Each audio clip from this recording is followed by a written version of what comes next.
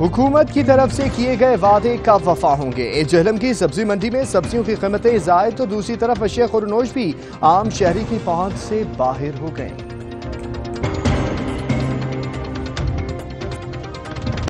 حکومت کی طرف سے کیے گئے وعدے کب وفا ہوں گے۔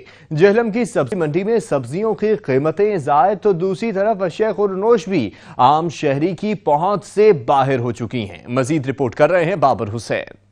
حکومت کی طرف سے عوام کو ریلیف دینے کے وعدے وفا نہیں ہو رہے۔ جیلم کی سبزی منڈی میں اور مختلف شیخ اردو نوش میں بے پناہ اضافے سے شہری سخت پریشانی۔ شہری کو کہنا ہے کہ تبدیلی سرکار نے تو ہمارے ناک میں دم کر دیا ہے۔ کوئی چیز بھی سستی نہیں ہے۔ سبزیاں، دالیں، گوشت، گھی، سب کچھ مہنگا ہو چکا ہے اور آٹا بھی مہنگا ہو چکا ہے۔ غریب شہریوں کا کہنا ہے کہ عوام پہ حکومت رحم کرے اور شیخ اردو نوش کی قیمتیں کنٹرول کرے۔ زیادہ مہنگائی ہے۔ اور اس نے غریب آدمی کو بالخصوص جو ہے وہ متاثر کیا۔ آٹا راتی پھر پہ دس دن مہنگا ہو گیا ہے تیل مہنگا ہو گیا ہر شاید دالاں مہنگی ہو گئی ہیں نا سبزی مہنگی ہو گئی ہر چیز مہنگی ہو گئی ہے۔ مہنگائی سے پیچھے جیلم کے شہریوں کا کہنا ہے کہ حکومت سے جو توقعات ہم نے کی تھی اس پہ وہ پورا نہیں اتر رہی۔ اور مہنگائی دن بہ دن بڑھ رہی ہے کم نہیں ہو رہی۔ غریب کا جینا اس دور میں محال ہو گیا۔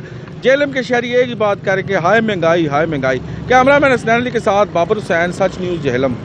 Sach news studio کے علاقائی خبر نامے سے فی الوقت اتنا ہی۔ مزید خبروں اور اپڈیٹس کے لیے آپ وزٹ کر سکتے ہیں ہماری website Sach T V dot P K. دیکھتے رہیے سچ نیوز۔